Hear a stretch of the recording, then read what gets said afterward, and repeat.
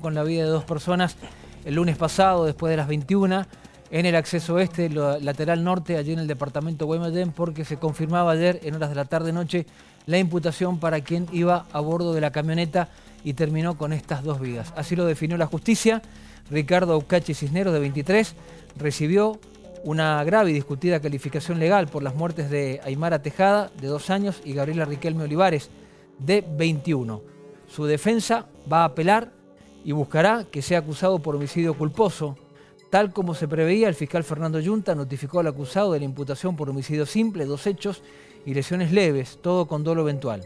Ahora arriesga una pena de 8 a 25 años de cárcel, es decir, debido a la mecánica del hecho y al estado de alcohol que llevaba en su cuerpo, según el dosaje de sangre, el magistrado entiende que Aucachi se presentó eh, en su accionar que podría derivar en consecuencias fatales y continuó adelante.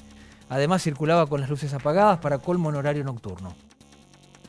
El ahora imputado se negó a declarar y sus abogados, Edgardo Isura, Cristian Baira Leighton y Agustín Magdalena, adelantaron que van a apelar la calificación, algo que suele ocurrir cuando se impone el dolo eventual en un accidente de tránsito. Esta es la foto del imputado de quien iba al mando de la camioneta.